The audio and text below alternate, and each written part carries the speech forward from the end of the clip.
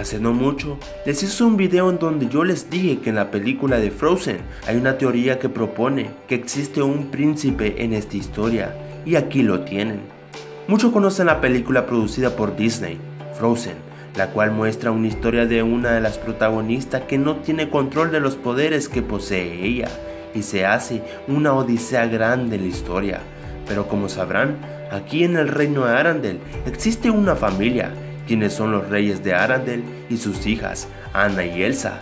Luego, en esta historia se va tornando algo muy triste, la ida de los reyes hacia un lugar, y luego se hunde el barco y los dan por muertos. Pues todo esto es lo que nos muestra la película de Frozen de la historia de esta familia. La teoría del príncipe perdido comienza desde que los padres de Arandel se van. Ok, estos se van a algún otro lugar posiblemente a un evento en otro reino. Así que luego ellos, en una tormenta, se ve que el barco se hundió en el fondo del mar. Pero, ¿qué pasa si te digo que ellos no murieron y siguieron vivos? Y esto lo sabemos con una pista en la película de la sirenita. Aquí en esta película hay una parte en donde ella ve un barco hundido y este es el mismo que los reyes de Arandel tenían.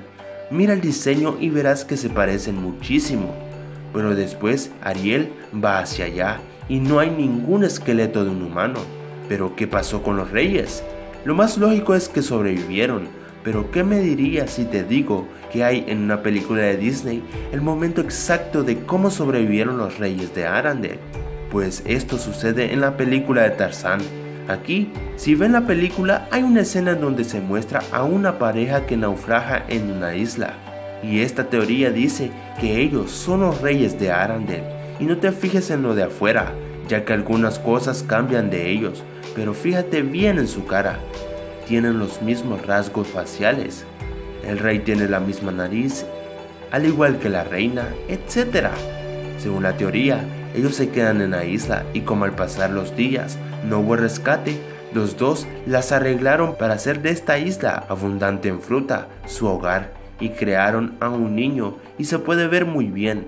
Así que después de unos días de que su hijo naciera, ocurre un hecho muy atroz.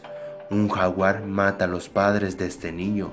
Al tiempo, un gorila lo encuentra y lo cría como uno de ellos y le pone como nombre Tarzán. Y exacto, el príncipe perdido se llama Tarzán y su historia después ya se sabe.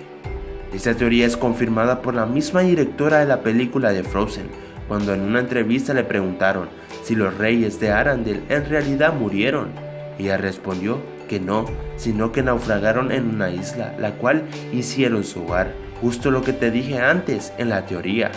Ahora dime qué opinas acerca de esto.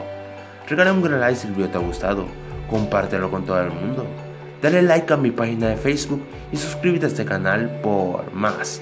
Nos vemos hasta la próxima.